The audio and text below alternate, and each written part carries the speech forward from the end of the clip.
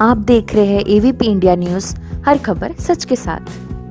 बाल विकास विभाग के लाभार्थियों को शत प्रतिशत पोस्ट आहार प्राप्त कराने के लिए जिला प्रशासन ने वितरण के समय आंगनबाड़ी केंद्रों पर नोडल अधिकारी व पर्यवेक्षक की तैनाती कर आंगनबाड़ी कार्यकर्तियों पर शिकंजा कसा क्योंकि पूर्व में जनपद संबल के जिलाधिकारी अविनाश कृष्ण सिंह ने ऑडियो के माध्यम से। सभी आंगनबाड़ी कार्यकर्तियों को 1 जुलाई को शत प्रतिशत पोषाहार व घी का वितरण कराने के सख्त निर्देश दिए थे। बनिया खेड़ा की सी सीडीपीओ रचना यादव द्वारा बैठक के माध्यम ऐसी आंगनबाड़ी कार्यकर्तियों को ऑडियो भी सुनाया गया। बनिया खेड़ा के ग्राम खेड़ा खास पहुँची एबीपी इंडियन न्यूज़ की टीम ने, नोडल अधिकारी के समक्ष आंगनबाड़ी कार्यकर्तियों द्वारा 1 जुलाई को किए जा रहे पोस्टर व घी के वितरण की तस्वीरें कैमरे में कैद की। एबीपी इंडियन की विशेष कवरेज।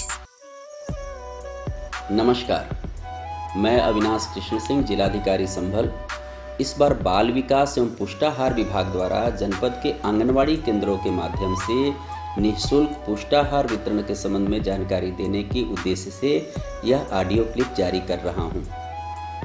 पुष्टाहार की आपूर्ति सभी बाल विकास परियोजना अधिकारी कार्यालयों को पूर्व में ही प्राप्त हो चुकी है, जिसे आंगनवाड़ी केंद्रों तक पहुँचाया जा रहा है। इस पुष्टाहार के भंडारण तथा लाभार्थियों में पारदर्शिता व सुचितापूर्ण वितरण सुनिश्चित कराने के उद्देश्य से मेरे द्वारा इस बार अनेक निर्णय लिए गए हैं तथा उसका क्रियान्वयन भी कराया जा रहा है। जून 2020 के निःशुल्क पुष्टाहार का वितरण दिनांक 1 जुलाई 2020 दिन बुधवार को प्रातः सात बजे से सायं पाँच बजे तक किया जाएगा।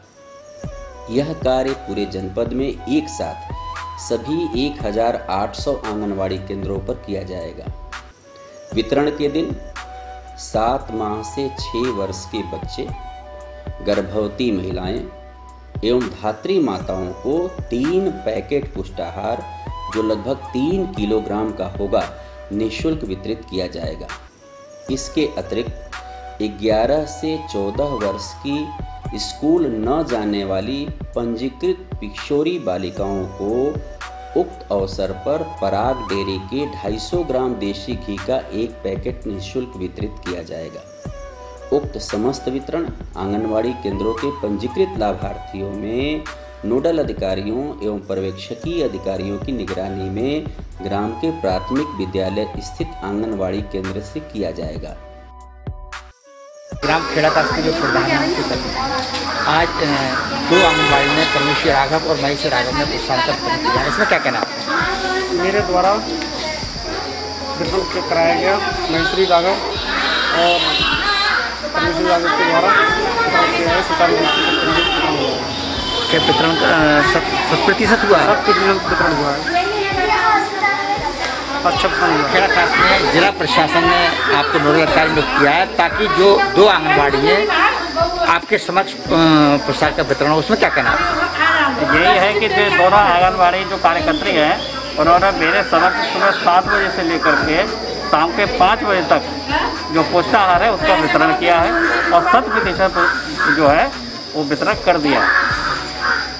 सर इसमें दोनों आंगनबाड़ी का क्या नाम है? हाँ उनका एक का नाम है परमेश्वरी देवी और एक का नाम है महेश्वरी देवी।